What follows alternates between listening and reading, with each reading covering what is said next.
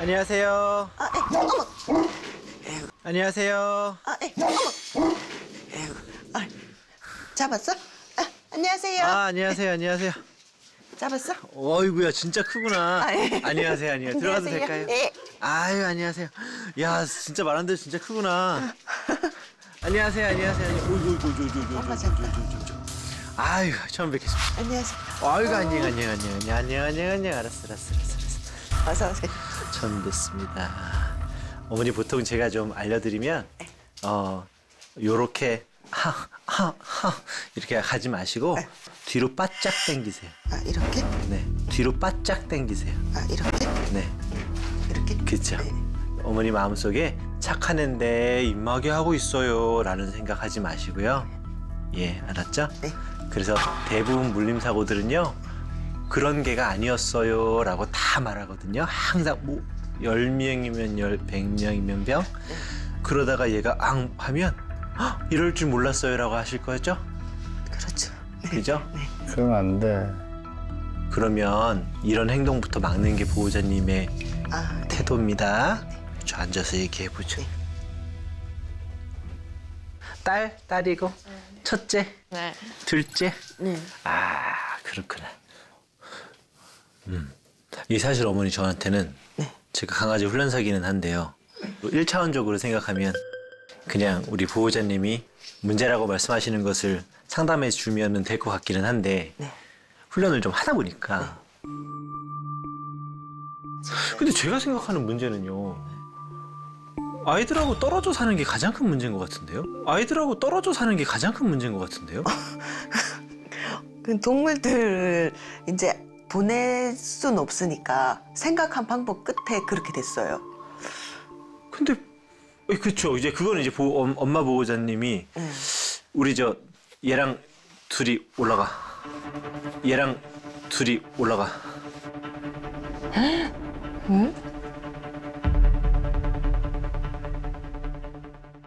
얘랑 둘이 올라가. 다른 데 가 있어 가 있어 어. 인사하고. 안녕 안녕 안녕 괜찮아. 얘는 혼자 데리고 나가도 괜찮지? 어, 조심해 안 넘어지게 문제가 뭐뭐 뭐, 뭐예요? 이제 분리불안 너무 심하고요. 24시간 붙어 있어요. 걔하고 잠도 자고.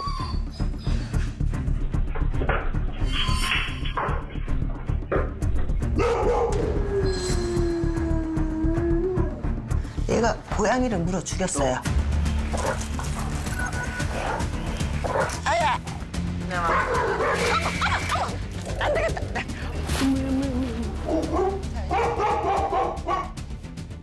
그 모든 것들이 아이들끼리 이렇게 자기들끼리만 있는 것보다 더 우선시되는 이유가 있나요?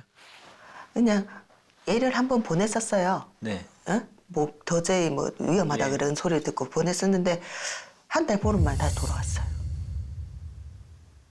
그 저 젊은 친구들한테 보내는 건 어때요? 그건 생각해 보셨어요? 걔네는 못 버릴 것 같은데요. 나한테 버린 것처럼 버리... 그것보다 아이들하고 떨어져 있는 게 더 나아요? 그 비교해 보는 거예요. 이제 우리가 문제를 해결해야 되잖아요. 문제를 해결함에 있어서 사실 근데 11살, 13살짜리들이 자기들끼리 이렇게 사는 건 별로라고 생각하거든요. 네, 제가 뭐 가게에서 뭐 음식해서 올려주고 그쵸. 이렇긴 하긴 있으니까. 한데 청소도 뭐 아침 저녁으로 하긴 한데 저는 초등학교 6학년 때부터 중학교 3학년 때까지 동생하고 둘이 살았거든요. 우리가 살던 집하고 되게 비슷해요. 저희도 어머니가 가끔씩 와서 청소도 해주시고 음식도 주셨어요. 근데 뭐 이건 저 개인적인 생, 제 감정이에요. 저는 뭐 엄마 보호자님이 분리불안이고 뭐고 솔직히 전 아무 관- 관심이 없어요 지금. 얘는 나쁜 개는 아닌 것 같아요 전혀.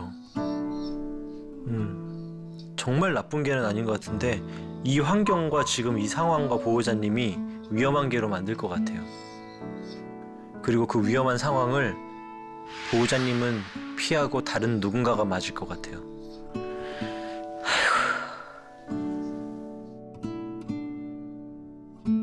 보호자님 그거 아세요? 여기 앞이 놀이터인 거? 네. 여기 바로 앞이 놀이터예요.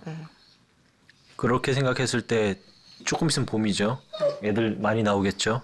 얘 튀어나가 봐요. 어떻게 될 것 같아요? 놀이터로 얘가 튀어나가면 어떻게 될 것 같아요? 끔찍하죠. 그러면 안 되죠.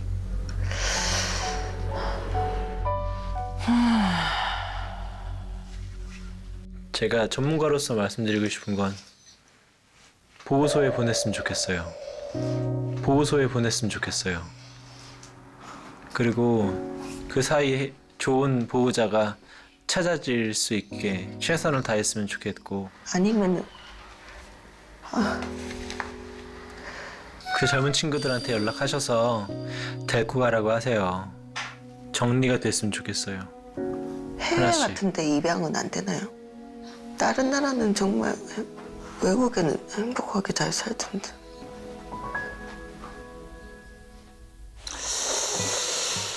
아, 이거 어떻게 해야 되나. 그러니까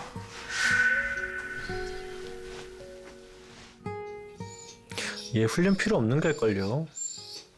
얘는 이런 애들은 앉아 엎드려 네 뭐 하는 짓이야 이걸 가르치는 게 아니라 평온한 환경만 제공해주면 굉장히 멋져질걸요.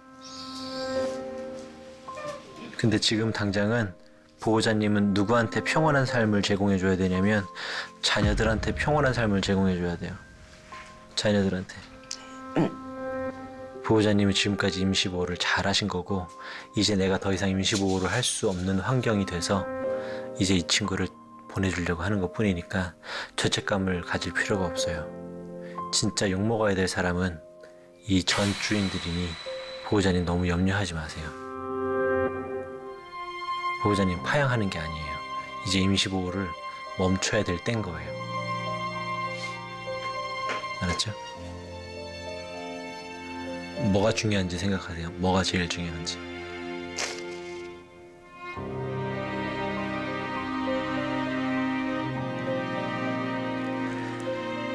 잠깐 올라갔다 올게요. 잠깐만 계세요. 잠시만.